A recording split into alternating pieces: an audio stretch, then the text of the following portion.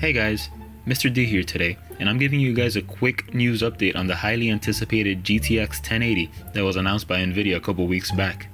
We're finally getting some images of the custom boards from EVGA, starting off with their superclocked ACX 3.0 edition of the card. First of all, let me tell you that this thing looks amazing. They really went with an aggressive looking style, and you will see that it has their usual dual ball bearing fans and huge heatsink that runs across almost the entire length of the card. It just gives it a great look and hopefully better cooling performance. The front badge lights up in white and can be changed through the software, and the superclocking SC badge is also lit with a green LED. I personally can't wait to get my hands on it and to make an unboxing video as well as a review video covering how well it performs. Videocardz.com also managed to score some photos of Zotac's new AMP and AMP Extreme series of the GTX 1080 with 2 and 3 fans respectively.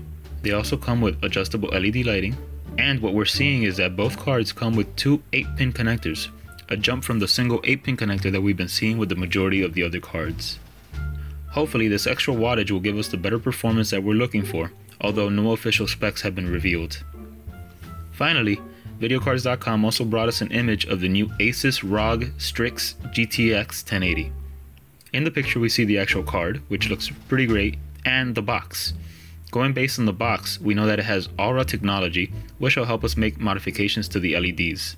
And also, we see that it's overclocked from factory, just like the EVGA model. This is all we know for now, guys.